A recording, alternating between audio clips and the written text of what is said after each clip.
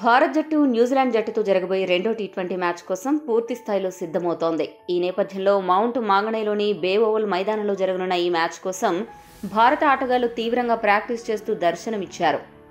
అందులోనూ భారత wicket keeper batsman Rishabh Pant కొంత ఎక్కువ సమయం ప్రాక్టీస్ చేస్తూ కనిపించాడు. కాకపోతే అతడిని ఏ స్థానంలో ఆడించాలన్న అనుమానంతో భారత క్రికెట్ జట్టు యాజమాన్యం బుర్రబద్దలు కొట్టుకుంటోంది. ఈ నేపథ్యంలో భారత జట్టు ఆటగాడు దినేష్ కార్తీక్ జట్టు యాజమాన్యానికి కీలక సలహా ఒకటి ఇచ్చాడు. దినేష్ కార్తీక్ మాట్లాడుతూ ఏమన్నాడంటే భారత జట్టులో ప్రతి స్థానం దాదాపుగా నాణ్యమైన ఆటగాళ్ళతో నిండిపోయింది. సంజు శాంసన్ లేదా విరాట్ కోహ్లీ మూడో స్థానానికి సెట్ అయిపోయారు. వాళ్ళను కదిపి ఆ స్థానంలో పంతును ఆడించడం కరెక్ట్ కాదు. అలాగే నాలుగో స్థానంలో సూర్యకుమార్ యాదవ్ కూడా పాతుకుపోయాడు. అతడు ప్రపంచంలోనే అత్యుత్తమ ఆటగాడు. అతన్ని కదిపే సాహసం చేయనే చేయకూడదు. ఇక ఈ రెండు స్థానాలు కాకుండా పంత్కు మిగిలింది మిడిల్ ఆర్డర్లో అతడు రెగ్యులర్గా ఆడుతున్న ఐదో స్థానం మాత్రమే.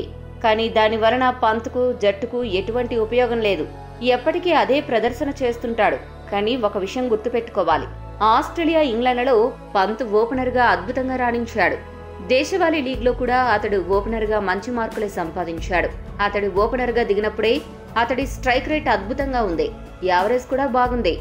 మేనేజ్మెంట్ అతన్ని ఓపెనర్గా దింపితే ప్రయోజనం ఉంటుంది. ఎందుకంటే అతడి బ్యాటింగ్ శైలి ఓపెనర్కు సరిగ్గా సరిపోతుంది అని అన్నాడు.